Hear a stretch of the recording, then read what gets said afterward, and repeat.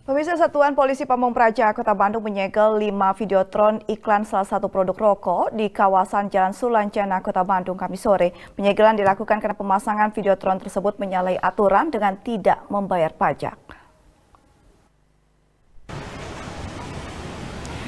Petugas dari Satuan Polisi Pamong Praja Satpol PP Kota Bandung menyegel 5 titik videotron iklan produk rokok di kawasan Jalan Sulanjana Kota Bandung kami sore. Penyegelan dilakukan dengan memutus aliran listrik serta memasang garis peringatan di media peraga. Kepala Bidang Ketentraman dan Ketertiban Satpol PP Kota Bandung Taspen Effendi mengatakan, penyegelan videotron dilakukan lantaran menyalahi aturan karena tidak membayar pajak yang seharusnya menjadi kewajiban pengusaha reklame. Lama bahwasanya ini tidak ada pajaknya.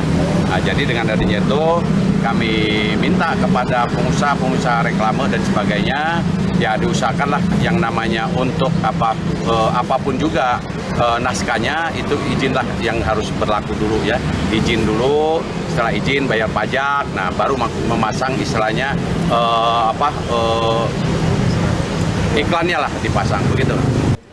Meski demikian, pihaknya tidak melakukan pembongkaran lantaran yang bersangkutan telah mengantongi izin konstruksi. Padahal posisi pemasangan videotron tersebut berada di atas trotoar jalan. Bahkan sebagian di antaranya berdampingan dengan pepohonan yang secara aturan tidak diperbolehkan. Petugas Satpol PP Kota Bandung pun akan terus menertibkan dan menyegel videotron di Kota Bandung yang menyalahi aturan dan tidak ada izin.